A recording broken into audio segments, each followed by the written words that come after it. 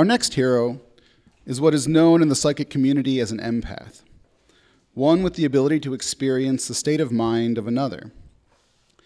While studying literature in her native Cairo, she discovered that by merely reading a sample of one's writing, whether it be a piece of fiction, a poem, a grocery list, a passive aggressive post it note, uh, she could get an, an, an intimate glimpse into that person's affairs.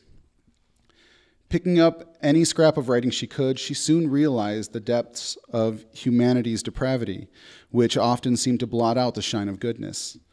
Rather than hide from this awesome responsibility, she chose to travel the world through books by enrolling in the MFA program here, where she reads as much as she can and works to rewrite the narrative of justice. In the cowardly hearts of men, she is the scrivener, but to her bookish compatriots, she is Noha al Badry.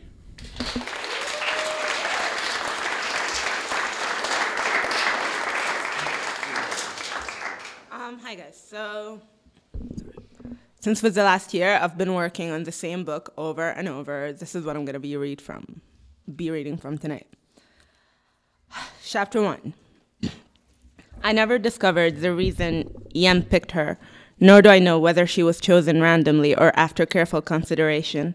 Who knows how Yen's mind works anyway? Who cares how the mysterious wreckage of depressed minds operates?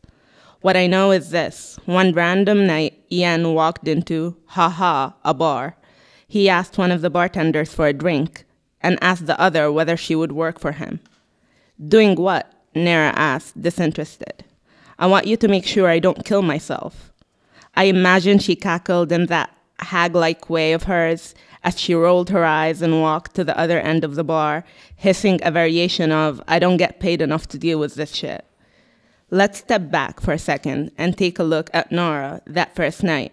Emaciated, medium height, mid 20s, black hair like barbed wire snaking midway down her back, brown eyes shrouded by way too much makeup, in short, your typical step away from drug addiction, half step away short of pretty nobody server in a generic bar. She smoked as she mixed drinks that overcompensated for their blandness by way too much liquor. She fiddled too often with her black crop top. Yen absently noted, pulling it over her chest. Nothing particularly notable, but enough to cover her tiny excuse of a shirt. For his part, Yen sipped one glass of whiskey after another. Three drinks later, Nara was back at his side of the bar. So? Huh? Nara threw, distracted. Will you work for me? Nora rolled her eyes. So funny, she humored him. Cad, her manager, had lectured her and yelled and cursed, the customer is always right, way too many times for her to have let her cruel cynicism take charge of her retorts. Just a miserable drunk loser, she told herself. Smile and politely decline. Yan looked at her, wearing his trademark earnest expression. I'm not joking. Look, it's been a long night and I'm really not in the mood. Are you going to order another drink? Nora fiddled with the split ends of her hair, a sure sign she was losing whatever minuscule amount of patience she had. Sure, but I'd still like you to consider working for me. I'll offer you as much money as you want. Yam smiled in a way Nora would later describe as utterly devoid of spirit and emotion. Made my skin crawl, she'd say. Suicide watch? she asked and scoffed. That's what they have nut houses for. Or call a hotline or something. Now please excuse me, she said as she walked away. Wait, I really don't want to do either of those things. It won't be a hard job, really. It would just be time consuming. But as I said, I'll offer you as much money as you want. Just think about it. Yan persisted. Nara was getting seriously annoyed now. Look, dude, if this is your way of like hitting on me, if it's not working and I don't screw for money, I don't know what sort of crap you're trying to pull. I'm not insinuating or asking for anything of a sexual nature. All I want from you is to make sure I stay alive, Yan said, as though what he was asking was perfectly normal and rational. Nara looked him over for the first time, noticed the handsome sculpted features, the plain but obviously expensive clothes, the golden watch wrapped around his wrist. There really was no reason she could think of for some rich, good looking guy to make such an odd request. She tried to decide whether he looked sad, but his expression revealed nothing. Pause. Yen wrote of all he couldn't feel. He could feel nothing. Emotions stuffed as blocked nostrils. He tried and he failed and he tried again, already foreseeing that again he would fail. So again he failed and tried again. His whole existence seemed locked in the repetition of one action, never completed, the torture of almost, but not quiet. Like climbing the stairs, but a step away from the landing, he constantly found himself back at the starting point. He was aware of what tastes his absurd curse should incite, the way one looks at a dish one never tried and sees its ingredients potato thyme mushroom, and so knows he should taste potato thyme mushrooms. Yen knew what he should be disgruntled, frustrated, exasperated, mad, all those foreign islands, like a secret everyone is in on except Yen, black sheep. Even boredom was beyond his reach.